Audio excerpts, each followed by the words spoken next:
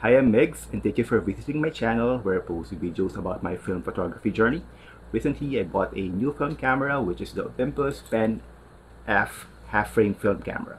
Now, this is a half-frame film camera, which means it takes twice as much pictures as your normal 35mm uh, film camera. And unlike the Olympus Pen EE3, which I already own, this one, I mean, this one is already a SLR camera, which means you have full control of the shutter speed and the aperture.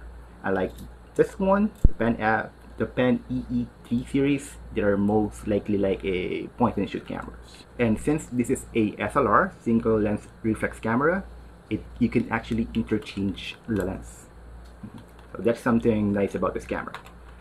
This specific camera has a 38mm f1.8 lens and the shutter speed can go as high as 1 over 500. One downside about this camera is it doesn't have its own light meter so you have to use the Sunny 16 rule or in my case I would sometimes use a phone app as a light meter. My plan is to use this camera as my everyday carry camera so I did brought this camera along with me a couple of times when I go out like do some errands or some random things and the test roll I've used was my favorite colored film which is the Ultramax Kodak Ultramax 400 that only has 24 um, exposure. I specifically buy this film for my half frame cameras. And without further ado, here are the photos.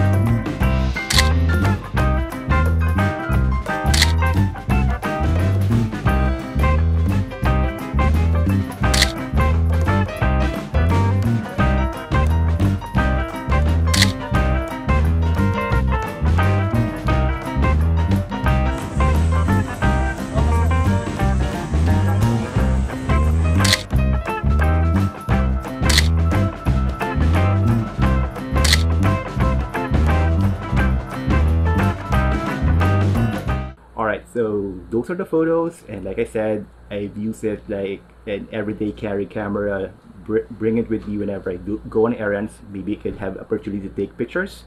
And the pictures turned out okay. It's a bit greenish for my liking. I'm not sure if it's because of the developing or the camera but it is what it is. And I think that's it. If you like the video please do subscribe. As I post videos like this every month. And yeah. Till next time. Bye